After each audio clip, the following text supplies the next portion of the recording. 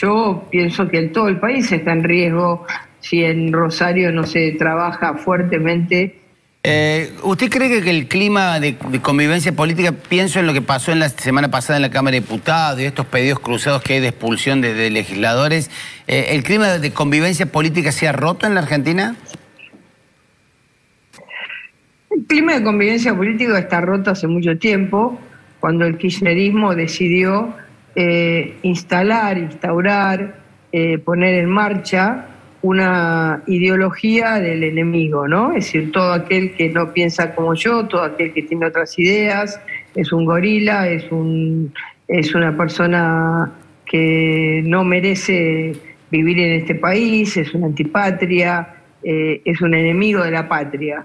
Esa teoría que durante los 20 años del kirchnerismo significó el ataque permanente a la prensa, la persecución de la familia noble eh, con sus hijos diciendo que eran hijos de desaparecidos cuando era toda una mentira, eh, y un montón de, acciones contra la prensa, la política, eh, llegó a un punto muy álgido con la 125, que era una lucha por una reivindicación que se podía haber discutido de una manera civilizada, terminó con marchas y contramarchas en la calle. Em, luego amainó en nuestro, en nuestro gobierno, más allá de que nosotros recibimos las piedras de manera permanente, eh, los obstáculos, los paros generales. Eh, fíjese usted la diferencia, ¿no?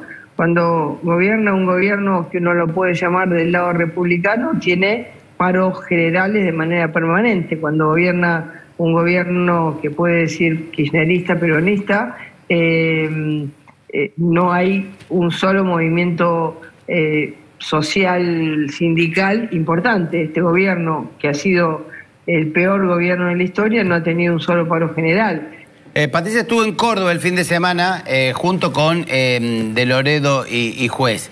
Eh, una señal, digo, en, el marco que hay algunas dudas respecto al posicionamiento del dirigente nacional, y hubo mucho malestar con la reunión entre Mauricio Macri y Martín Zarlora. Eh, ¿Está el, eh, Juntos por el Cambio, o al menos el PRO Nacional, dividido respecto a, la idea de ganar o no ganar Córdoba?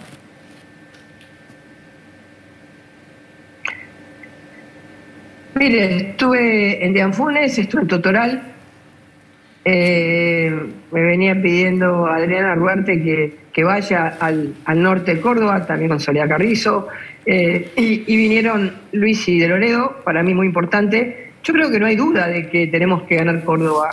No hay duda de, que no se puede mezclar eh, la, un gobierno que hace 24 años que gobierna Córdoba y que en el último año además ha tenido un montón de rasgos kirchneristas en el Congreso eh, que no ha, no, está no ha estado del lado eh, de, las necesidades de los cordobeses en un montón de temas, han votado con el oficialismo.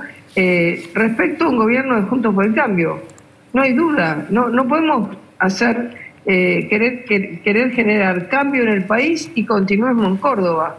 Y la otra, le, leí declaraciones suyas el fin de semana que hablaba de la situación de narcotráfico en la provincia de Córdoba. Conociendo el tema, usted fue ministra de Seguridad de la Nación, ¿usted teme que Córdoba pueda llegar a, ocurrir fenómenos similares a los de Rosario?